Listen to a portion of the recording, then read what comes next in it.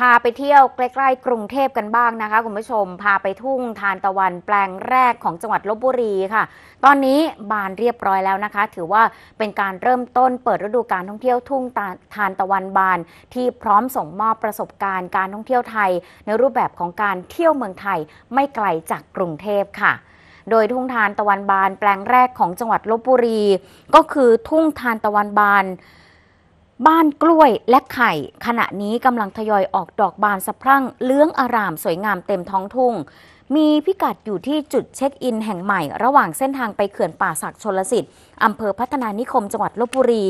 ตั้งอยู่ริมถนนใหญ่เลยนะคะ ก่อนที่จะถึงเขื่อนประมาณสัก 1 กิโลเมตร 600 เมตร มีพื้นที่รวมกันกว่า 60 ไร่ เริ่มเปิดต้อนรับนักท่องเที่ยวตั้งแต่เดือนนี้ต่อเนื่องไปจนถึงเดือนกุมภาพันธ์ปีหน้าค่ะ ที่บ้านกล้วยและไข่แห่งนี้ยังมีโซนมินิซู จัดเป็นสวนสัตว์ขนาดเล็กเพื่อน้องๆ หนูๆ ด้วยนะจะได้ทำกิจกรรมกับครอบครัว อาทิการให้อาหารกระต่าย การให้นมหมูแคระการให้นมแพะ การให้นมลูกวัว และการให้อาหารปลา ท่ามกลางบรรยากาศที่ร่มรื่นมากมายนะท่ามกลางธรรมชาติ รอบล้อมไปด้วยขุนเขาเนี่ยนะคะ นายศรีศักดิ์ไกล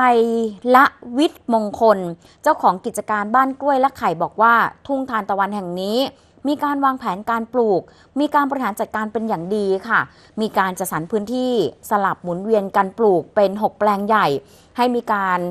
ออกดอกเบ่งบานต่อเนื่อง ทดแทนกันได้ตลอดฤดูกาลร่วมกับไม้ดอกไม้ประดับชนิดอื่น ซึ่งปกติแล้วเกษตรกร ผู้ปลูกทานตะวัน ส่วนใหญ่ก็จะเลือกฤดูการเพาะปลูกทานตะวันให้เบ่งบานในช่วงปลายฝนต้นหนาว เนื่องจากว่าทานตะวันเป็นพืชที่ทนต่อความแห้งแล้ง และอากาศเย็นได้ดี หันหน้าสู้แดดอยู่ตลอดเวลา นักท่องเที่ยวที่จะเข้าชมทุ่งดอกทานตะวัน